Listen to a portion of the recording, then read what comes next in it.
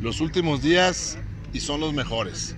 Porque hoy te puedo decir que tengo el gran privilegio y la gran satisfacción de haber recorrido muchas veces el distrito y de haberme encontrado con aquel calor humano que me recibieron y que me han tenido la confianza para poder platicarme toda su problemática.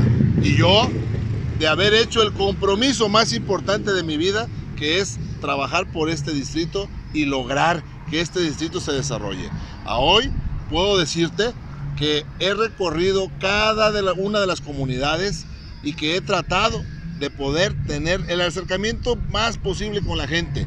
El tiempo no me fue suficiente. Agradezco a todos aquellos que nos han recibido, pero lo más importante, que nos han dado sus opiniones, su problemática, porque han confiado que un servidor será un diputado que estará cerca de la gente, que podré estar gestionando desde San Lázaro lo que a la gente aquí le perjudica y lo que a la gente aquí le trae un gran problema que es no tener acercamiento por, con sus funcionarios.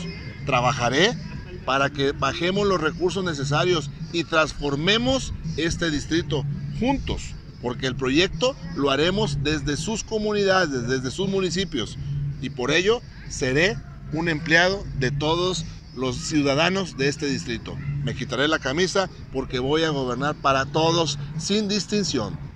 ¿Qué le duele a los ciudadanos del distrito 19?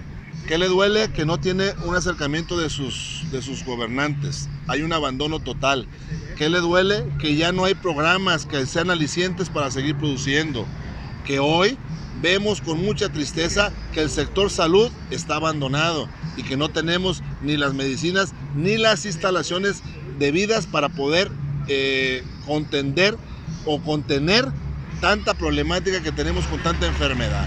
Por eso hoy voy a trabajar para desarrollar ese gran proyecto de distrito que nos permita que la gente tenga mejores servicios, que logremos que la gente pueda tener una remuneración mejor, que los pequeños productores logren tener el valor y recibir lo que verdaderamente vale su producto.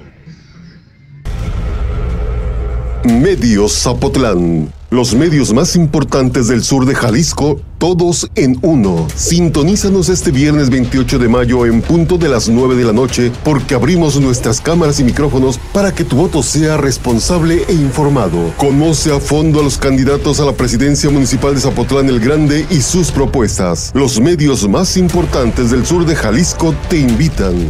Medios Zapotlán. Por ti seremos uno solo, porque tu decisión es lo más importante.